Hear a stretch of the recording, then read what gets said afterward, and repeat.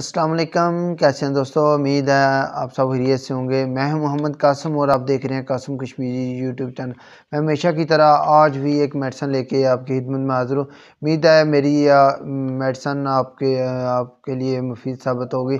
तो इस मेडिसन का मुकम्मल डिटेल आपको देंगे। ये किसके लिए इस्तेमाल होती है? ये, इसका डोज़ क्या है? सब जो डिटेल है इस वीडियो में आपसे शेयर करेंगे।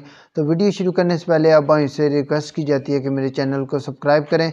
और बेल नोटिफिकेशन को ऑन करें ताकि मेरी इस तरह की हर नई आने वाली वीडियो सबसे पहले आप तक पहुँचे। जो पहले मेरे व्यूवर हैं, उनको तो अल्हम्दुलिल्लाह पता ही है, मैं तकरीबन मेडिसन रिलेटेड वीडियो अपलोड कर रहा हूँ।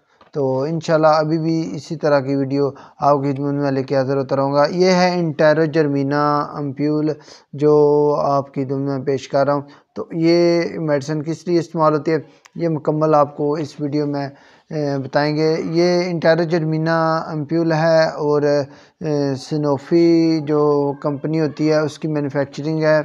तो ये होती है बच्चों की जो है ना मोशन के लिए पैदाइश से लेकर बड़े बच्चों तक आप उनको आराम से पिला सकते हैं। इसकी जो डोज़ है वो एक एम्प्योर रोज़ाना तो ये पाँच दिन आपने बच्चों को देना होता है। मैं इसकी आपको जो है ना अंदर से भी दिखा देता हूँ इस एम्प्यूल की पैकिंग। ये डब्बे डब्बे में तो बीस एम्प्यूल होते हैं और कुछ डब्बे में दस की पैकिंग में आते हैं। और ये इंटेरोजन मीना एम्प्यूल हैं। तो ये तो ज़्यादा है। आपने जहाँ से अगर बच्चे को मोशन लगे हों, पानी वाले मोशन हैं या मोशन ठीक ना हो रहे हो तो उसको एक रोज़ाना देना है। तो ये पाँच दिन आपने रेगुलर देना है, ठीक है? यहाँ तक पाँच बनेंगे। ये आपने पाँच ले लेने हैं। इसकी प्राइस फिफ्टी रुपीज़ है तो इसके ऊपर प्राइस भी लिखी होती है। तो इसको जो है, इसकी एक्सपायरी डेट मैनुफेक्चरिंग इसके मुकम्मल डिटेल लिखी होती है। इंटेरो जर्मीना इसका नाम है, ये इस पर नाम लिखा हुआ है। हर एम पी पे इंटेरो जर्मीना का नाम लिखा होता है। और ये डब्बे भी आप देख सकते हैं। इंटेरो जर्मीना जो है, एम्प्यूल है। तो ये बच्चों के मोशन के लिए हैं, जिन बच्चों में मोशन ठीक नहीं हो रहे या पानी की तरह के मोशन हो तो ये उनके लिए होता है उसको इस्तेमाल करने से। इन मोशन में काफ़ी हद तक कमी हो जाए।